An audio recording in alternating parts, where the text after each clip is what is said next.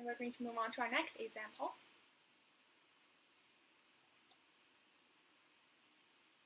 Okay. So the next example is how do you convert from centimeters cubed to meters cubed?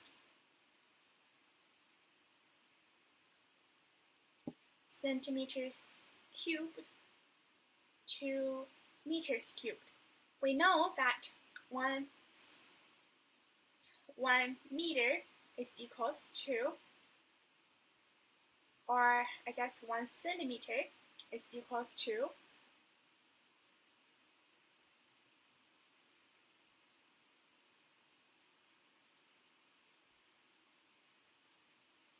one over a hundred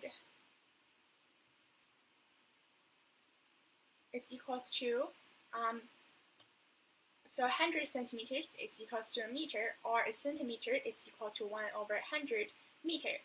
So in order to find the centimeters cubed, we just cube both sides. And we know that 1 centimeter cubed is equals to 100, or sorry, ah,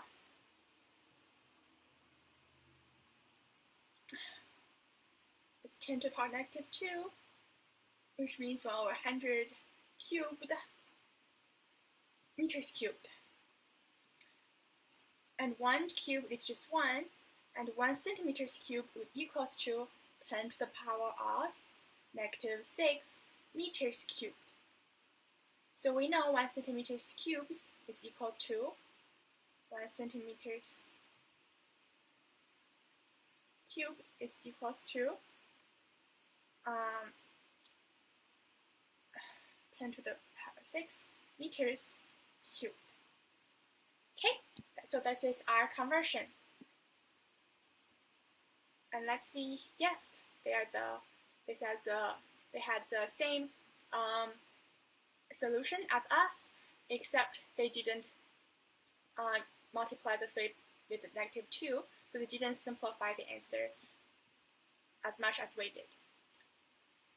So yeah, 1 centimeters cubed is 1 over 10 to the power of 6, or 1 over a million meters cubed. So let's just say this solution is correct.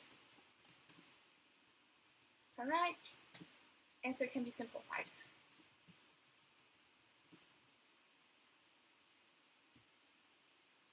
Solution is correct. Now let's move on to our